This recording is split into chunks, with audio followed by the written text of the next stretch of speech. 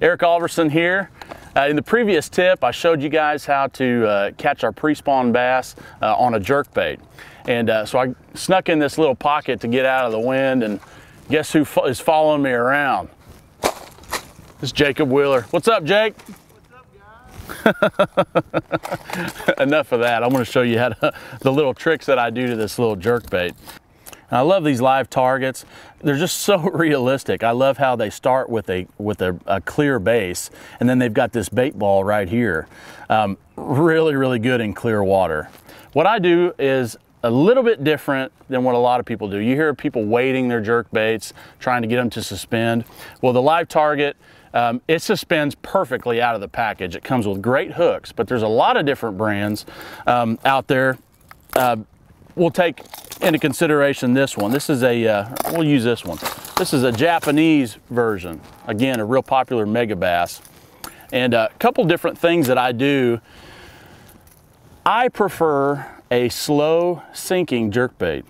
Not a lot of people like this. A lot of people want a suspend and jerkbait. And I think a lot of the reason why I really like to weight mine down a little bit is, is when you think about it, when you're throwing a jerkbait, typically it's during a, a, a shad kill uh, or, or you're fishing pretty fast. So when a shad dies, it really just doesn't sit there. It kind of flutters and then falls a little bit. So uh, it works for me. Another way is uh, as I'm fishing extremely fast a lot. I'm covering lots of water, I'm ripping it. Again, we fish a lot of smallmouth lakes. Um, they want a reaction strike, so I'm really jerking that thing hard. So to compensate for the drop, I'm, I'm, fishing it fast, so I'm really keeping it kind of in that suspended zone, but it really just fits my style of fishing. I'm, I'm, fishing fast, so I want that bait to sink a little bit slower so it stays in that six to eight foot zone. So in this bait, a lot of the new manufacturers, especially the Japanese brands, spend a lot of, uh, pay a lot of attention to detail. They come with great hooks right out of the package, but I still like to tweak it a little bit. I feel like I have to, I have to have some kind of an edge. So what I'll do is uh, Storm has uh, has made suspended dots and suspended strips for a long time. A lot of people have have used lead to wrap around your hooks. I've never been a big fan of that. Um, one of those reasons was, um, you know, you'll hook a fish and you got all that lead around the shank. Uh, they have tendency to pull off. I want all, uh, all the bite that I can get on these fish. But uh, when you're adding these suspended dots, I've had some of these for years, um, but the adhesive's really, really good. Um, you know, in the wintertime, it's hard to, to, to put these on when you have cold fingers or when you're in the wintertime. Um, it's cold and rainy out and, and a lot of times the adhesive doesn't want to stick. So do this at home. Um, when you guys have cabin fever, go through, all, get your jerkbait box out, go through them.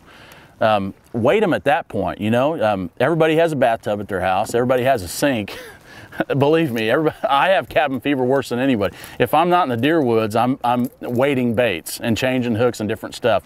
But uh, that's how I, I found out, um, you know, how many suspended dots, how many strips, how much weight I needed to get exactly what I wanted. So and you know, another thing that you need to think about too is most of the time we're throwing a jerk bait in cooler water. So, you know, when you're, when you're filling your bathtub up, when you're filling your sink up, don't fill it up with hot water because the density of the water is going to be a little bit different. So always fill it with, with cooler water, you know, 50 to 60 degrees or just cold water, uh, and you get a lot truer um, rate of how this thing is going to fall or suspend.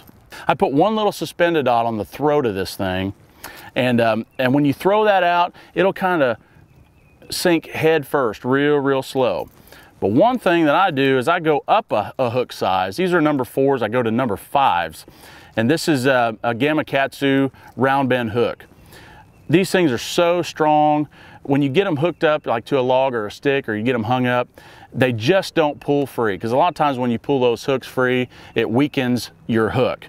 These things, you're probably gonna lose a bait. they just don't bend. But anyway, when you hook one on a round bend, they don't come off but they also weigh more than a, a, number four and then some of the lighter size hooks is that Megabass produces on their baits. Let me show you exactly what this uh, bait looks like in the water. I'm just gonna flip it over here and you can see without twitching it or anything, how it's just floating down. That's exactly what you want right there. When it's just sitting there, it'll sink. So when you twitch it, it'll rise a little bit and then it'll slowly start to sink. and you're all the while you're you're staying in that strike zone. Even when you're pulling it up on the you know the the the back third of your cast when you're almost done with your cast. Um, you know your your jerk bait will tend to rise up, but if it's weighted, it'll stay down there longer, uh, even at the last minute. So those fish that are that you're trying to coax at the very end are going to hit right. You get a lot of strikes right at the boat, and that's because I believe that it's staying in that strike zone a little bit a little bit further. So I hope that helps on your next on your next trip to the lake when you're trying to catch a pre-spawn bass on a jerkbait. Evinrude's user-friendly marine displays are the result of exhaustive testing and have been designed by passionate people who live and breathe boating. To learn more, check out an Evinrude dealer near you.